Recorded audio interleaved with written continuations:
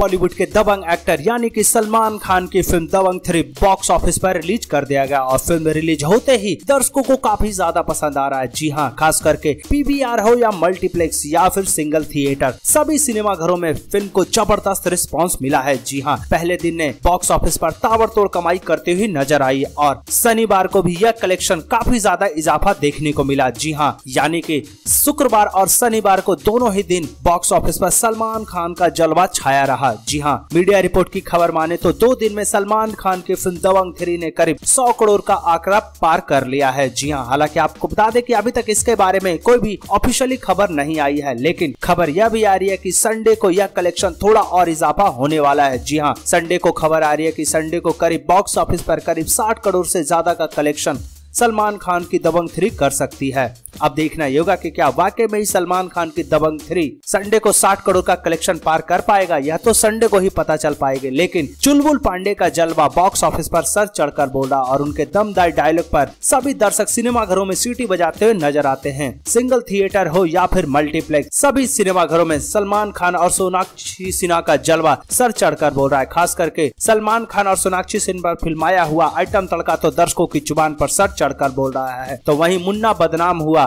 दर्शकों की ज़ुबान पर काफ़ी ज़्यादा पसंद आ रहा है। कुल मिला के कहा जाए तो दबंग थ्री में वह सभी मसाला मौजूद है जो दर्शकों को पसंद आती है। ऐसे में अगर आप लोगों ने अभी तक दबंग थ्री नहीं देखा है तो आप अपने नजदीकी थिएटर में जाकर दबंग थ्री ज़रूर देखें। और जिन लोगों ने फ़िल्म को देखा है, वह हमें कमेंट करके ज़रूर बताएँ कि आपको सोनाक्षी, सिन्हा सलमान खान और सुदीप की जोड़ी दबंग थ्री में कैसी लगी।